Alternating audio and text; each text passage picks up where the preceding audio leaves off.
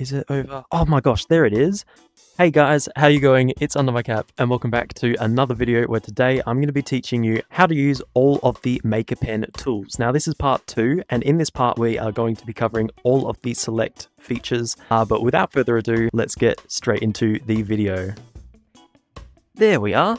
I'll just pick that up. And hey, welcome back to the tutorial world. So today we're going to get straight into the select tool. So we want to pull out our maker pen. So I'm going to pull mine out of the back. If you haven't watched the first part of this series, definitely make sure to check it out in the description below and in the info card because it is very important. But without further ado, let's get straight into using the select tool. So let's pull up the maker pen menu. I'm going to detach it right here and I'm just going to put it out here to show you what it looks like. Okay, so as you can see, this is the Maker Pen menu. The select button is right next to the create button. So we're going to click that and that's going to start the tutorial. And when you actually click the select button, you'll see a whole bunch of options that pop up on this side over here. Now the select tool is really good if you want to copy and paste items, if you want to group items, if you also want to uh, move a certain amount of items, just in general, you can select multiple items instead of one singular item. So we've selected the select button. Let's just exit the Maker Pen for now. I'm going to just exit that. When we actually grab the select tool, you can see we can actually select multiple items like this, and they start to group all together. So you can see there's one massive highlight around the section that we've selected, and uh, we can actually deselect as well. Now, a really cool thing with the select tool as well is if you hold down your trigger gun, if you're in VR, you can actually pull up this like little yellow globe thing and you can select everything in that area. If you do the same thing again, once you have a selected area, you can see it's slightly red. It's really hard to show you on this, uh, but it's slightly red. So now I'm deselecting everything. So this is good if you just want to get rid of a few things from your selection. Uh, for now, let's just select all the plates. And I'm going to deselect the table. So you can see all of these items are selected. Now, as you notice, once we actually select all the items, there is a little button that pops up that says options. So let's click on that. One thing in this menu is that you can actually make an invention to display on your profile. That will be another video, uh, but that is one way you can also use the select tool. Okay, so going back to this menu, once we've actually selected the items we want, we can do a couple of things with them. You can see in the select tool functions, we can actually copy all the items and paste them in a different area. So let's go ahead and do that right now. We're going to hit copy uh, you'll notice a few other things pop up. We have the clipboard and we have paste recent. So basically you can uh, see what's in your clipboard. You can see this is what we've recently copied over here. Um, but let's just head back out of that.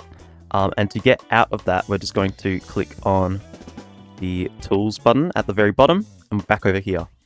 Now we can also paste recent as well. So this is where we can literally just paste everything that we've selected again. So if we click paste recent, You'll notice that my Maker Pen now has all of the plates that we copied from before. So if we close this menu, I can now place a whole bunch of plates everywhere because we just copied them from the tool. This video is going to get very hectic very fast with all of this stuff. Oh my gosh. Now, we've also got a few more features of the select tool as well, so let's go through that. So before, when I was showing you how you can actually hold the trigger down to select items all at once with that like yellow ball and the red ball, you can actually change the size of that selection size if you're doing like fine work or if you're doing a lot more detailed work. So if you actually click on this little button here, you have a whole bunch of these options. So precise obviously is very small. We have small, makes sense, goes all the way up to large and analog. Um, I don't know what that is, but we're going to just see what it is right now because I want to actually learn what this is.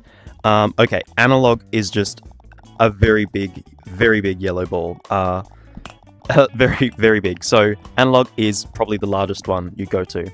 Uh, let's place this back into the world again. Um, and then these settings over here, they don't, they're just, they're just the general settings over there. Uh, but that is the main functions of the select tool for this. Now, let's say I create a few shapes. Without out the Maker Pen, I'm going to just make a whole bunch of squares. You can see that it's very random. So they're all currently in one container right now, all these squares right here. And what we can actually do with the select tool is if we select certain amounts of those items, so you can see I've only selected two squares, you can individually move them with the move tool, which we'll cover in a different video. So you can select multiple items. Now with the select tool as well, when we click on these items here, I don't know if you can see that pop up, there's a tiny purple options button that appears, and you can click on that, and you do have a few other options. So split shapes will basically split the shapes out of the container. So if we click split shapes there, you can see that a few items, um, I'm not sure if the camera will pick it up, but these items here, so this, this square here, is actually not in the same container as these other squares. So you can actually split the containers open. We'll talk about containers in a different video, um, but they're in two separate containers right now because we split them. If we go back to the options item here as well, we can center on pivot. So the pivot is essential to know where we need to rotate an item. So uh, if it's not centered, you can recenter it by using the select tool. If you did enjoy the video, don't forget to leave a like and smash that bell, or smash the subscribe, then smash the bell icon. I'll use that sometime. Also, you can check me out in game. My name is Under My Cap. Um, I would love to teach all of this stuff, and I'm really happy with the positive feedback we had on the first video, so I'm going to look to continue this series. But I hope you have an awesome day, and I'll see you in the next video. See ya!